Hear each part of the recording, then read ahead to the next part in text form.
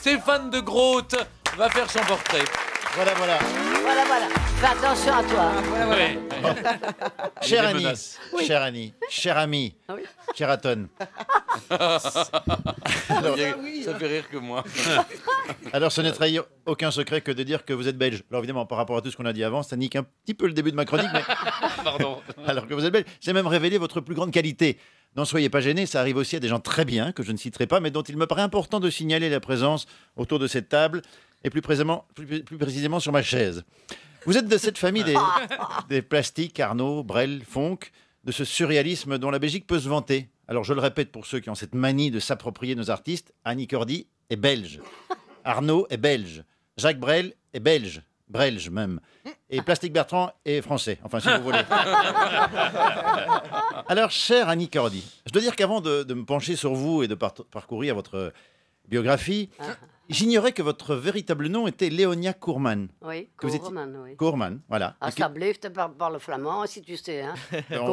deux O, R-E-M-A-N, c'est ça, on va le faire à deux, mais ça va exclure un certain nombre de gens qui nous écoutent. Ah.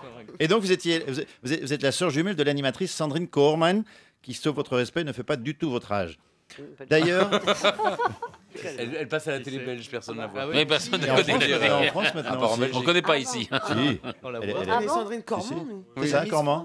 Hein Cormand Ah Sandrine oui. Cormand. Oui, c'est ça, il y a toujours le Ah, man, man, man. ah. Enfin bref. Un peu comme la-. Poursuivez, On Stéphane. poursuit. D'ailleurs, les histoires de noms de famille dans le show business, ça devient un petit peu n'importe quoi.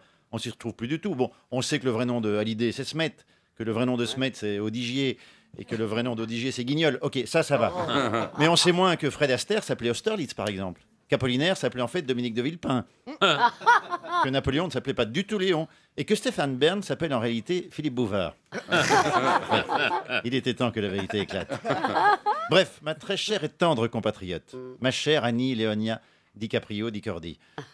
Il y a plus de 60 ans, vous débarquiez à Paris pour devenir livreuse de journaux.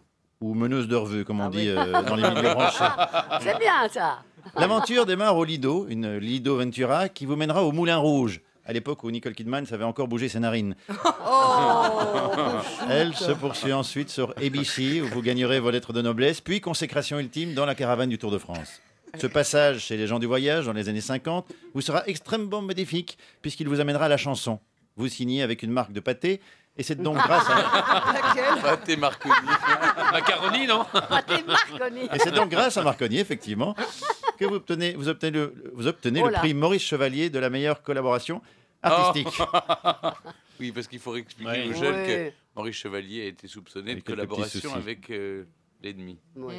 Voilà, passons. Oui, Alors, bien sûr, après ce grand blanc, Un grand blanc, oui. C'est Sacha Guitry. grande visionnaire, vous avez toujours eu une longueur d'avance sur votre époque. Dans Hello Dolly, vous rendiez hommage 25 ans trop tôt à la première brebis clonée. Eh Oui. Dans, euh, Ça s'appelait comme ça. Dolly, la petite Elle brebis. s'appelle oui. Dolly. Elle s'appelle Ouais, à, cause de ça, hein Ouais. Comme ça. Dans Ça ira mieux demain, vous préfiguriez le programme de François Hollande, après avoir esquissé celui de Ségolène Royal dans Tata Yo-Yo. Sans parler bien sûr de la bonne du curé, pour laquelle nombre d'enfants de cœur ne vous remercieront jamais assez.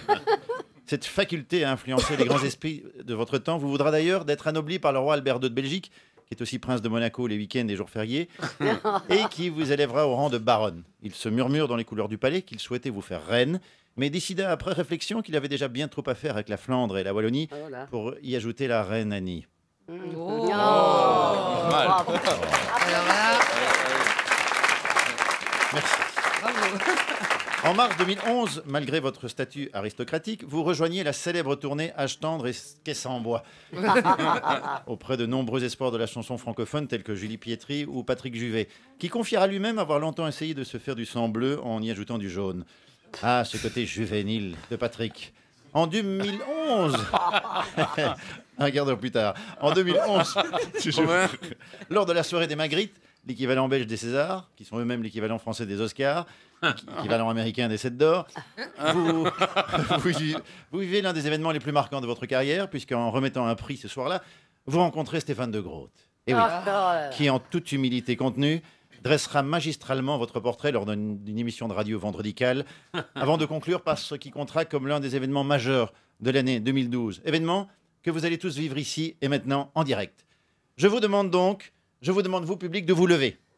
de vous lever, oui, vous ici fiche- de vous lever. Je vous demande, la je vous demande de pas faire la bien. plus grande standing ovation de l'histoire de la standing ovation.